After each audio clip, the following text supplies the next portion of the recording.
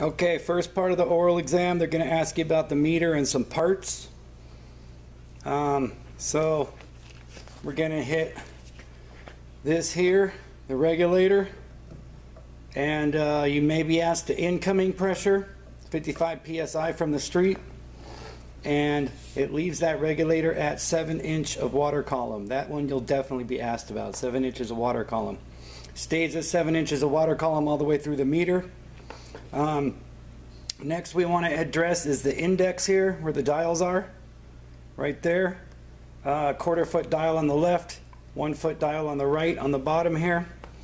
Um, and what that's for is for metering the amount of gas uh, going into the building. Uh, next thing you'll be asked here is uh, this valve here the A9 valve. Can we turn it on and off all we want? The answer is yes we can um, we can turn that on and off all we want.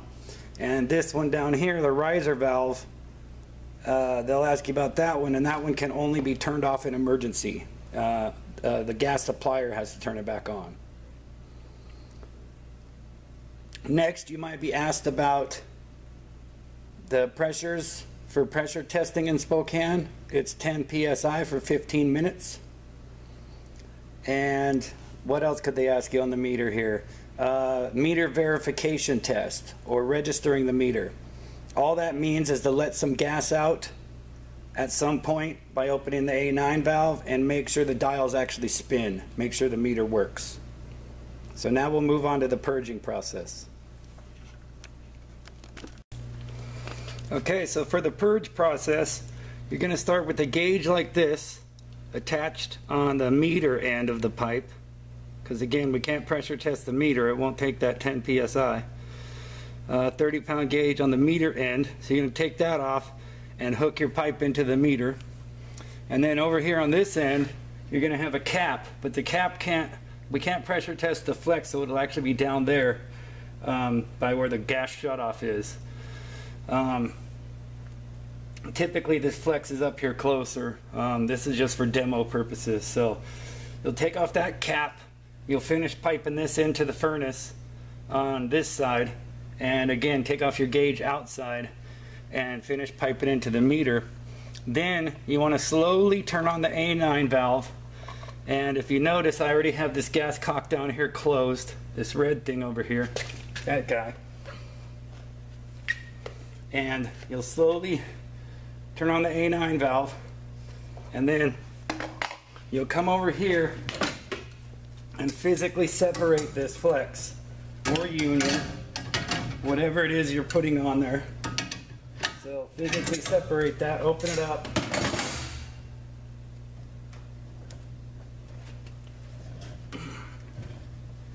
Take this flex apart. Turn on your gas cock and then let that flow until you got gas coming out and leave it flowing while you tighten it down. That way you know you're purged all the way up to your flex.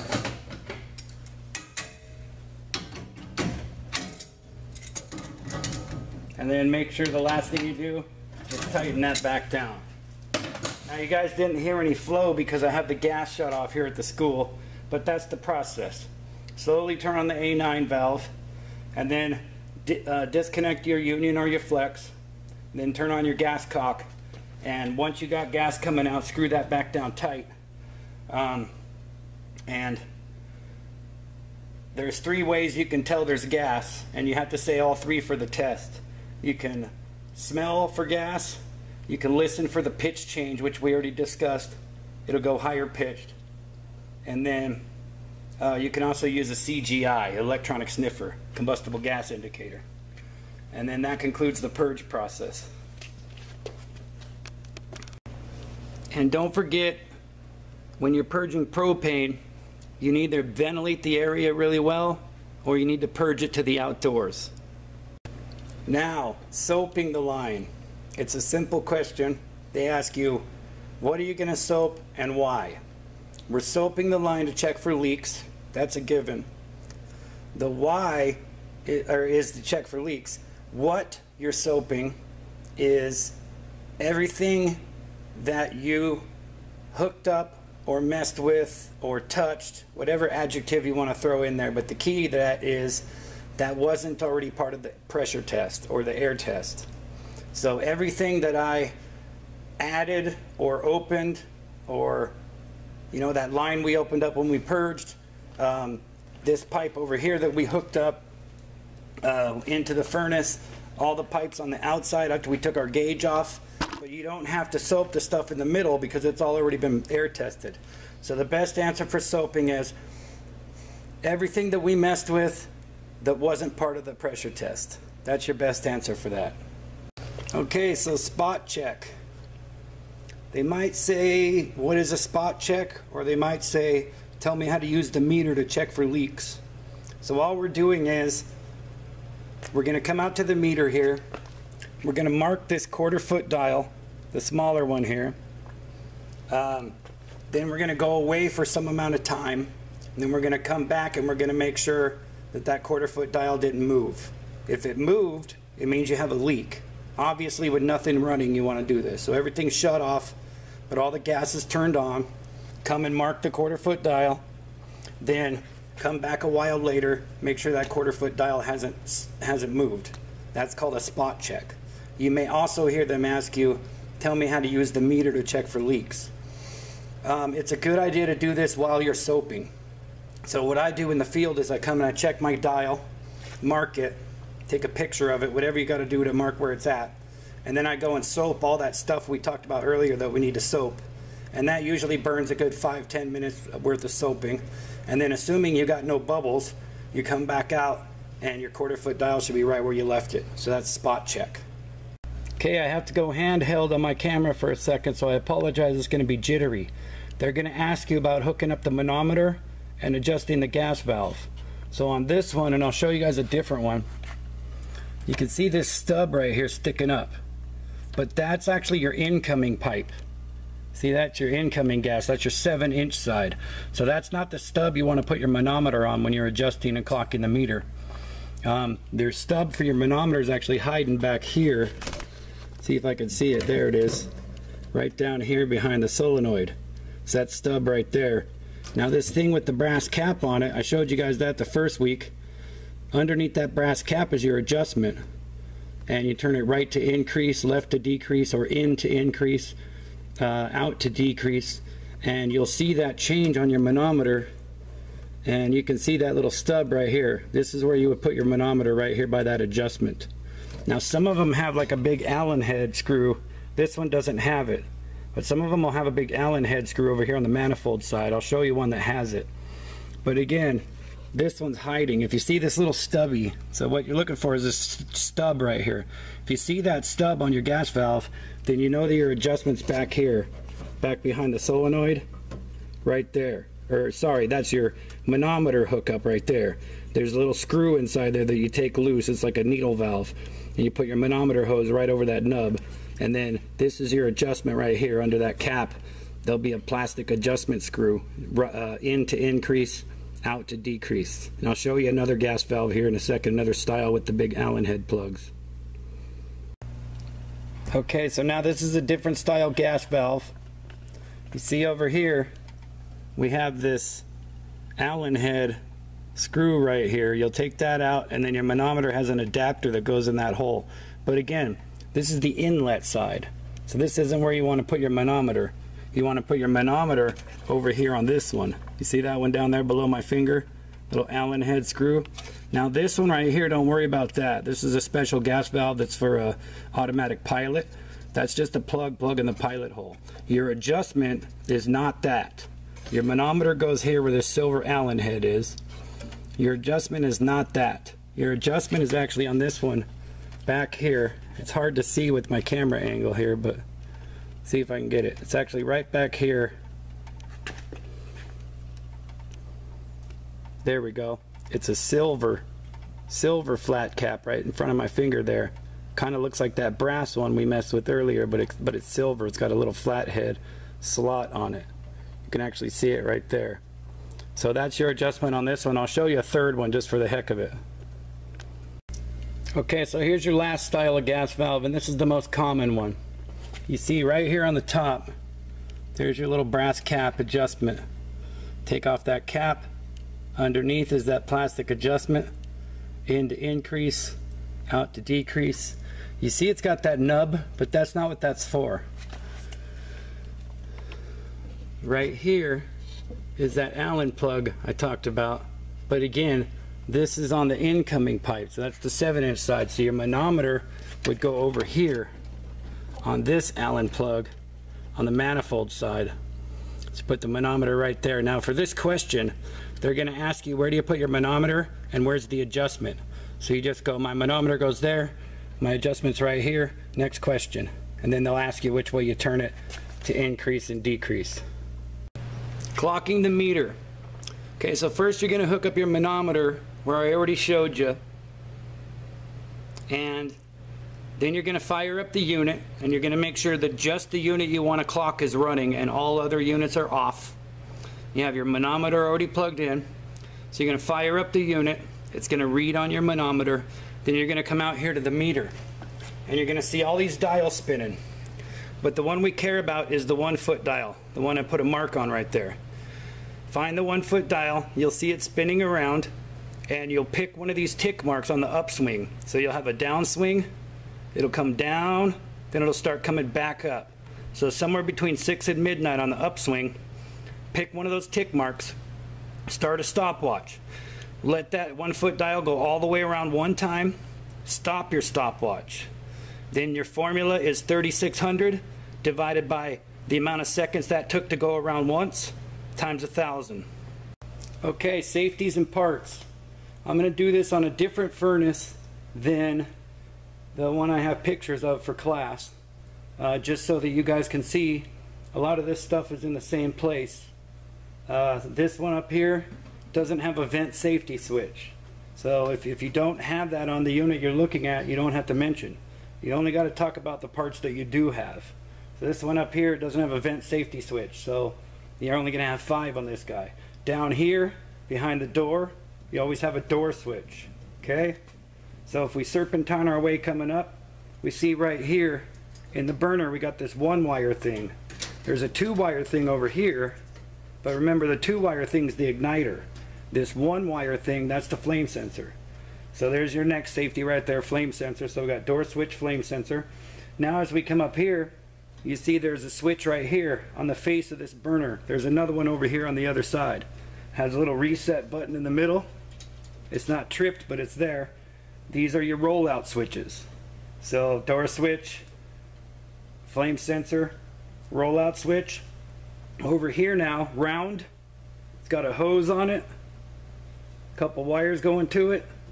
This is your pressure switch. Um, and then last one we have is back here on the firewall, this kind of tan brown looking thing back here, that is your high limit. And if you notice, these are always where they belong.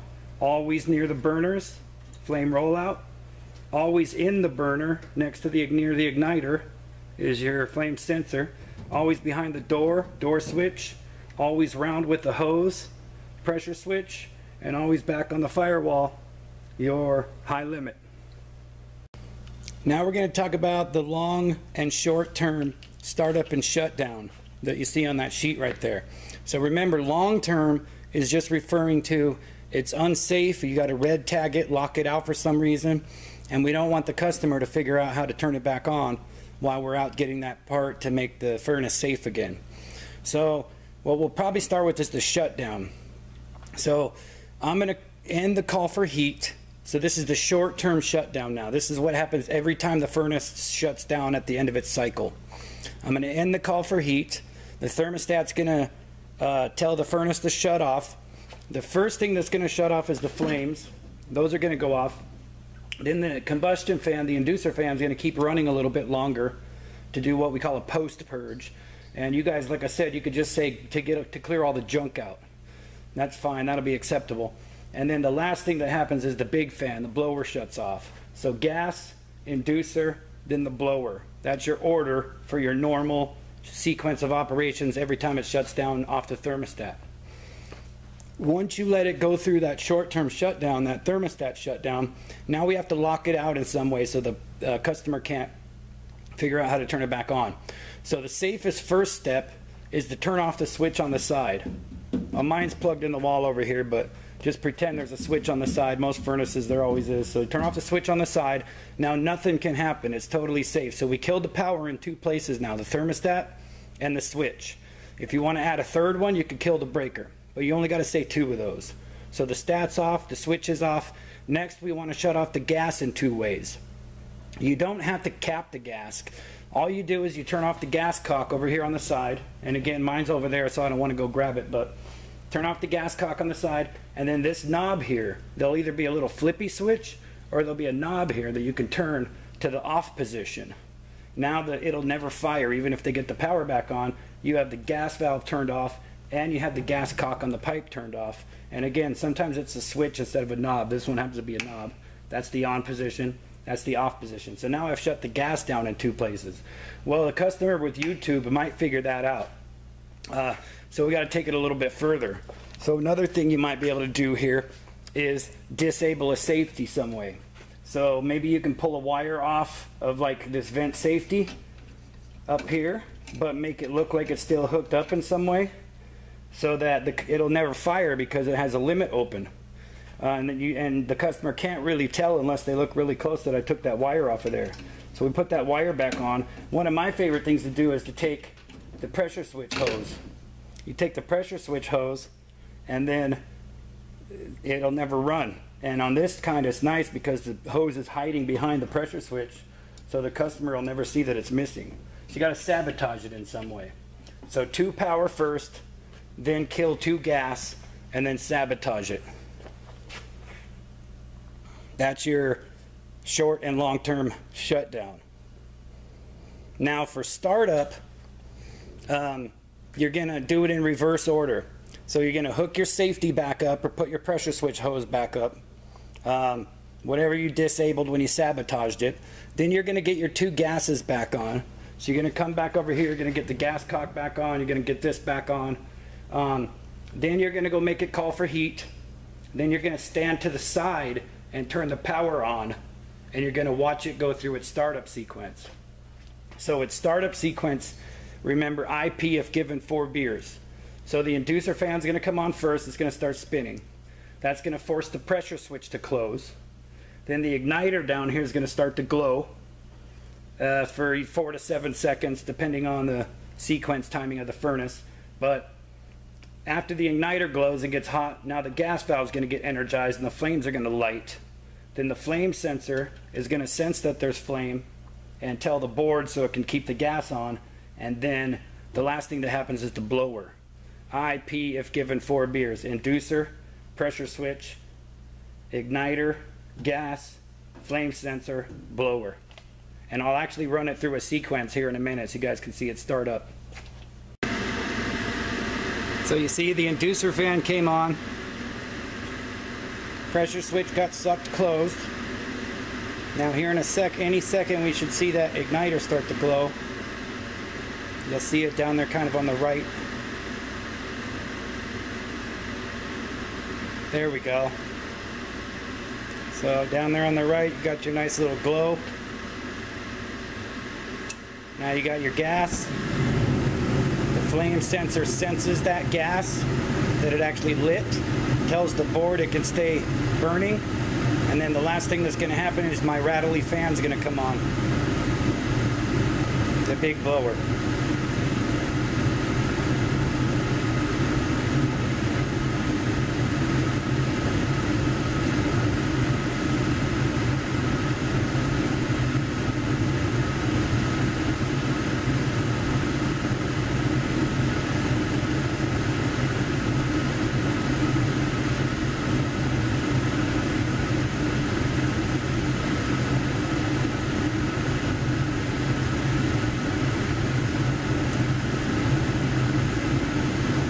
There it goes.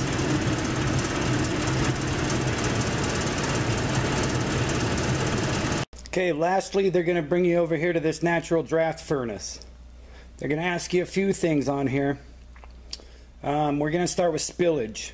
So they're going to ask you, now they may not actually bring you over to this natural draft furnace. They might just have you just pretend it's natural draft on one of those 90 percenters over there. Um, So either way, you're going to have to imagine we have a draft hood here. Okay, this is your draft hood. It goes clear across, all the way across this opening right here.